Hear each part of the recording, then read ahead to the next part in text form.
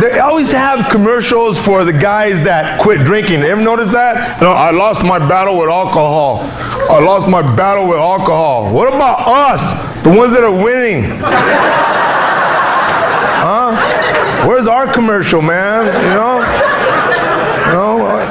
I want to have a commercial for alcohol. Go, hey, alcohol. Thank you, bro.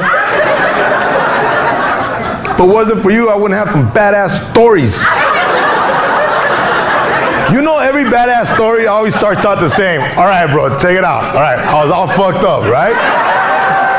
That's why I drink. You know why? Because Jesus drank. That's why. Remember the Last Supper? He could have had water. He said, fuck that, we're going to have drinks. It's my last day, all right? We're going to have some drinks, then, then we're going to take a picture.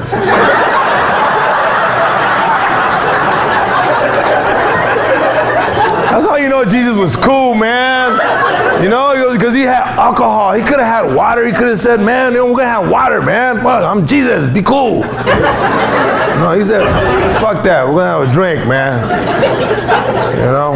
And he was cool with Judas. Remember, Judas was there. He said, hey, Judas, fucking squash it, bro. That would have been me, man. My last day, I would have got fucked up, man. I was like, I can't believe this shit. It's my last day, man. Fuck. Hey, what are you looking at, Judas? Fucking bitch. Huh? Let go, let go. Fuck him, bro. Huh? You think I didn't know? God's my dad, dick why is you know God so mean? You know, the only thing I can think about is because he grew up without a father. You know. oh, they said that we are made in, in His likeness, man, which leads me, you know, to believe that God drinks too.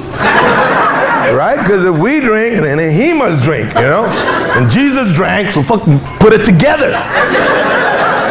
Right? So to me, that explains like hurricanes and tornadoes and floods and shit, you know? Because he gets all fucked up, you know?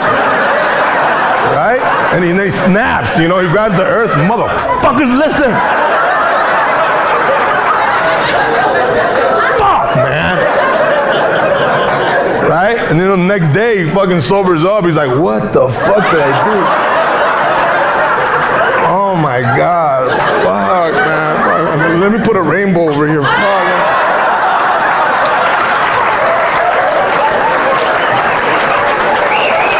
Religious people are always sending me to hell, man. You know, you're gonna go to hell. You're gonna burn in hell.